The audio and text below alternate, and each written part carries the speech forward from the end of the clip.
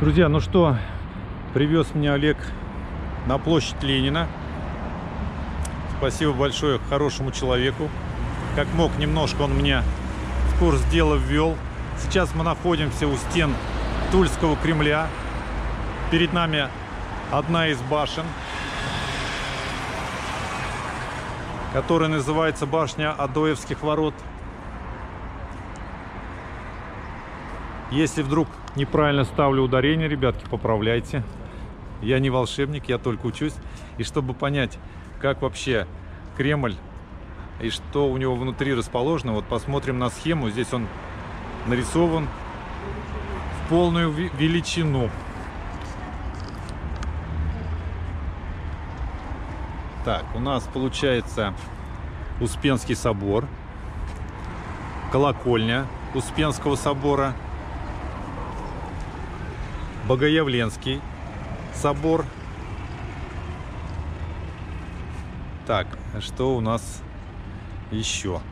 Да, и весь Кремль у нас огорожен девятью башнями. И каждый имеет свое название. Но я сейчас о названиях не буду. Давайте мы сейчас сходим и с вами все вместе посмотрим.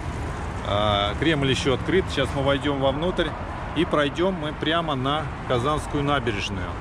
А там посмотрим, тут вот говорят, что в этом году тоже очень красиво постро... сделали а, построечки такие для прогулочек, для отдыха и для, развлек... для развлечения. Пойдемте с вами сейчас посмотрим.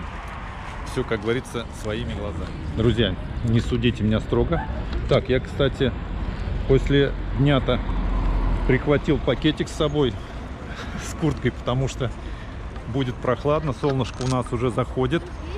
Сегодня я опять подзадержался, но это было связано с решением по работе. Хотели меня срочно послать на загрузку, а потом отменили. Так, что у нас здесь? Проход запрещен, проезд только автомобилей. А мы идем в такую арочку. Да, сейчас посмотрим, какой же толщины здесь стена. Ну, а толщина, скажем так, не очень большая по сравнению с Нижегородским Кремлем. Ну, может быть, это только в одном месте. Ну ладно, у нас суть не в том, чтобы толщ... толщиной стены мериться. Пойдемте посмотрим вот на такую колокольню. Ой, а колоколов на ней сколько? Класс. Сейчас мы все это поближе посмотрим. Друзья, прямо перед нами Успенский собор и колокольня Успенского собора. Время на часах без пяти семь вечер. Блин, как здорово, все ходит точно, как в аптеке. И здесь памятник Дмитрию Донскому. Стоит он у подножья колокольни.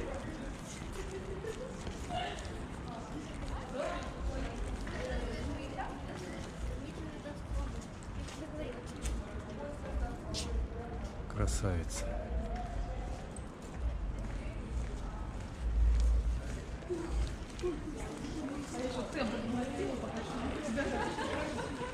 Давайте прогуляемся здесь.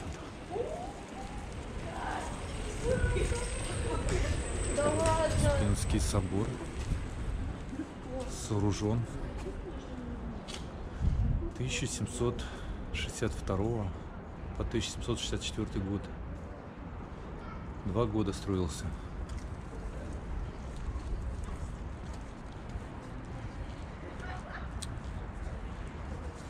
Ну, два года это не срок. Когда вот 20-30 лет строится, то да. А, здесь сейчас идет реставрация. Я хотел немножко заглянуть вовнутрь, но здесь все загорожено. Одна только гулька сидит. Сторожит, чтобы никто не заходил. Там идет реставрация. Ну ладно, ребятки. Раз там закрыто, давайте просто посмотрим, что у нас здесь находится внутри Тульского Кремля.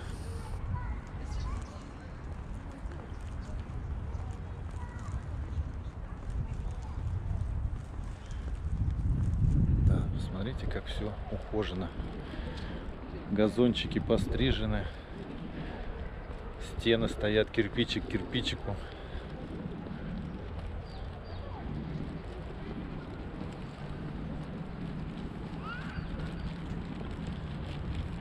А мы сейчас как раз и погодка сегодня прям душевная, просто гуляй. Так, а здесь у нас. Друзья, а это у нас арт-объект Светлая Пасха. Подаренная губернатором. Подарок губернатора Тульской области.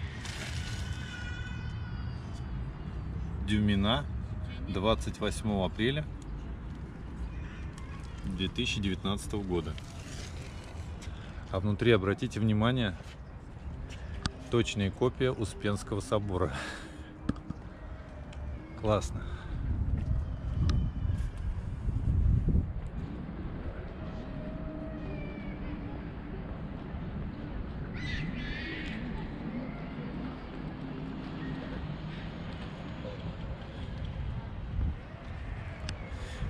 Да, место такое тихое, спокойное.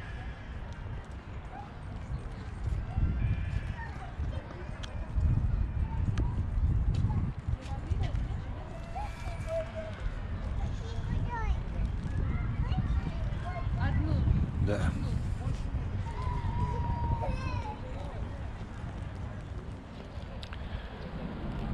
А перед нами Богоявленский собор. Наверху двуглавый орел со стрелкой. То ли флюгер по ветру, то ли уже направление показывает, где находится запад, получается, если у нас солнышко заходит. Да? Стрелка показывает на запад. И здесь где-то находится музей оружия. Сейчас подойдем, посмотрим поближе. Да, как здесь все чисто и красиво. Прям ходить, их смотреть одно удовольствие.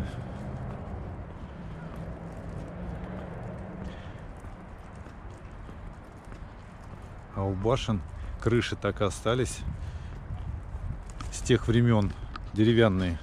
О, яблонька.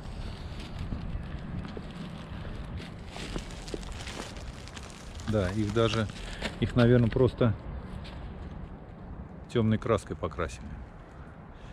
Или такое дерево темное.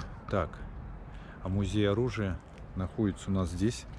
Так, а здесь тоже все на реставрации, ребятки, поэтому мы туда не попадаем. Жаль, жаль. Но идемте на Казанскую набережную. Так, тропинок здесь много, так что можно гулять по всему Кремлю и ни, ни на кого не натыкаться и не спотыкаться. Лавочки, пожалуйста.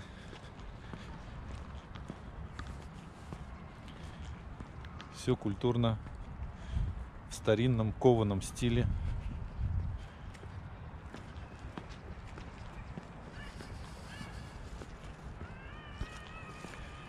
Хотел сказать, ножки сделаны из кованого металла.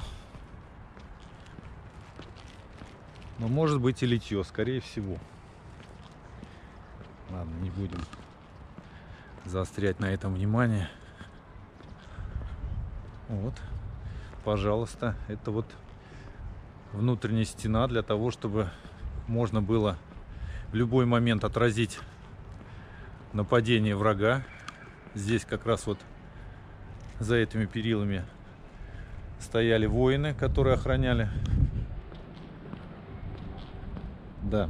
Сначала строилась стена, походу, а потом уже вот к стене еще пристраивалась еще одна стена для того, чтобы могли защитники передвигаться. Но это мои догадки. Я могу и что-то напутать, так что не судите меня строго. Я не историк-искусствовед. Я просто делюсь с вами своими впечатлениями. Так. Да, если мы сейчас пойдем прямо, мы как раз вот с этой башенки через арочку выйдем на Казанскую набережную. Так, он небольшой относительно территории Кремля. Я все сравниваю с нашим Кремлем Нижнего Новгорода.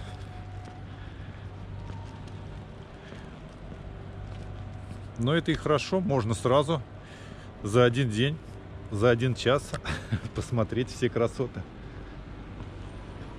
Так, а это вот какая-то сцена, я так думаю, что она здесь временно поставлена.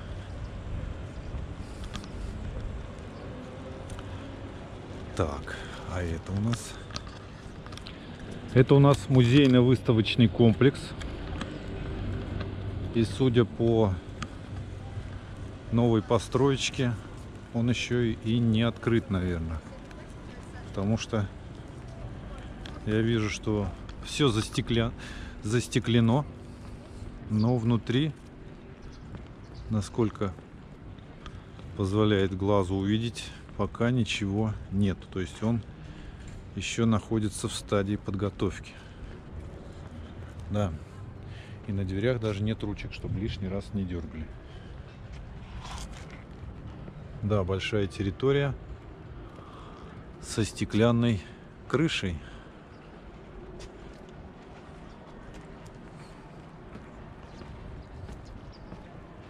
Так, ну что, Кремлем полюбовались. Пойдемте посмотрим, что находится за Кремлем, за кремлевскими стенами. Пойдемте на набережную.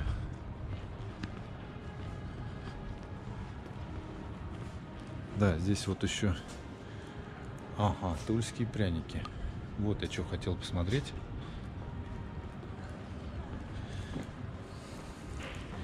Почем здесь тульские пряники? Здравствуйте.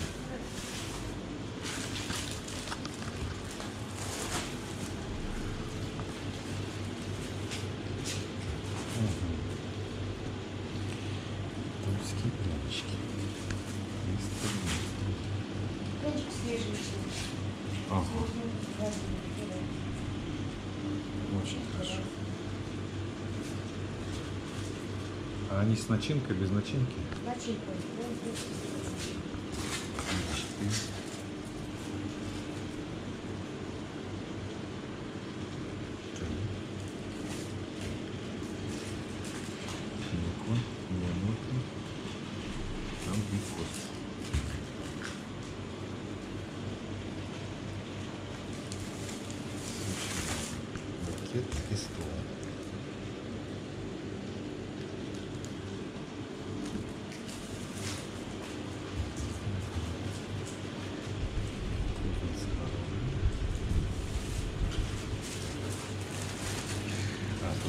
тут даже вот есть цветные прянички.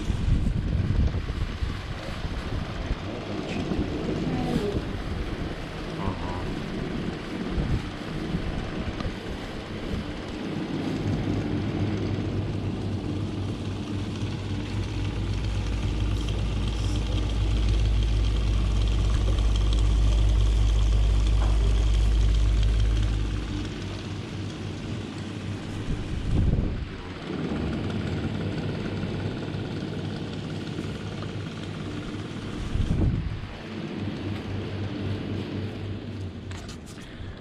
Ну что, друзья, полюбовались мы Кремлем и говорим ему до свидания, Тульский Кремль.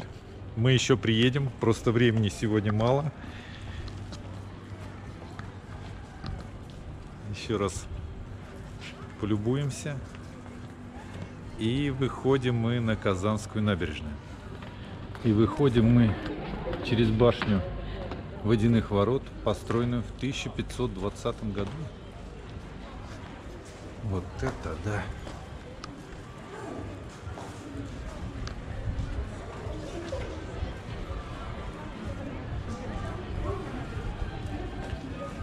А вот она, Казанская набережная.